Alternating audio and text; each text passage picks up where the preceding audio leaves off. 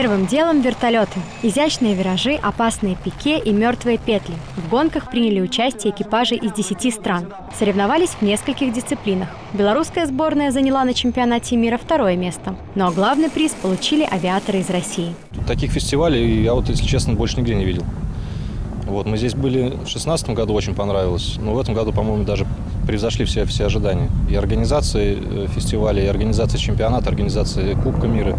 Все прекрасно, все на высшем уровне. В точности состязались и парашютисты. Задача нелегкая. Спортсмену нужно определить направление ветра и приземлиться прямо в цель. Очень интересная схема соревнований сама. То есть было пять командных туров.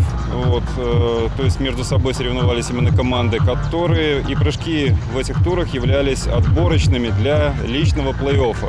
То есть олимпийская такая система. Посмотреть на мир с высоты птичьего полета мог любой желающий. О фигурах высшего пилотажа речь, конечно же, не идет, но прокатиться на большом воздушном шаре или стать пассажиром вертолета проще простого.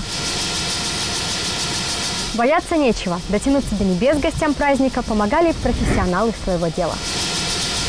Впрочем, и на земле было не до скуки. Конкурсы, фудкорты, детские игровые зоны и выступления музыкантов. Очень все нравится, весело хороший отдых с детьми, с семьей. Мы получили массу впечатлений в самом даже начале. Дети выиграли много призов, МЧС вообще молодцы.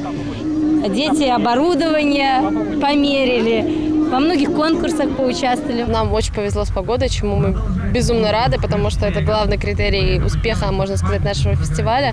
А, и поэтому у нас было очень много гостей. Мы постарались быть к этому готовыми, подготовили очень много активаций различных э, и для детей, и для взрослых. Фестиваль стал громким прощанием аэродрома на Боровой. Он закрывается навсегда. Но одно можно сказать точно – про небо здесь не забудут. А в следующий раз гости соберутся уже на другой площадке.